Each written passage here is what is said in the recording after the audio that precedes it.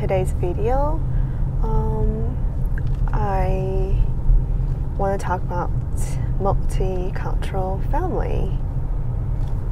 Um, you know, now the international marriage is really common.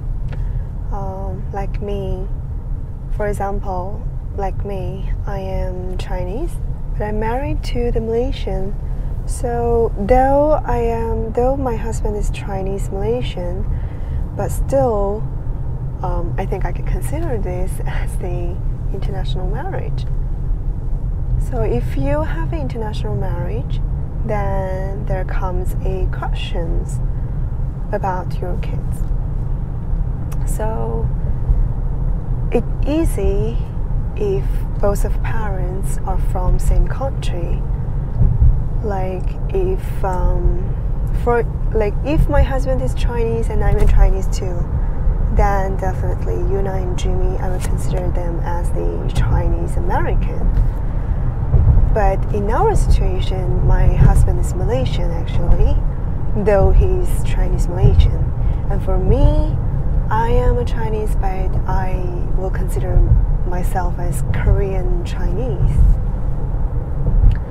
Idea what Yuna and Jimmy is.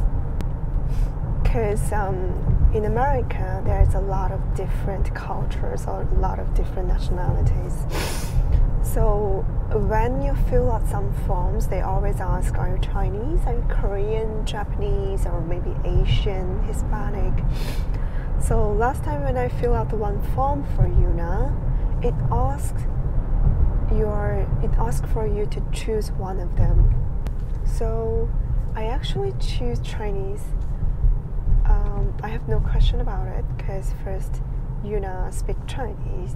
Yuna speak Chinese and um, we we are eating a lot of Chinese food, and um, but also I I teach you know some Koreans, and then we are eating Korean food, and then we have lots of friends who speak in Korean. So you and your spouse has different um, nationalities so in your case, if you are like me, has a international marriage, then how you define your kids?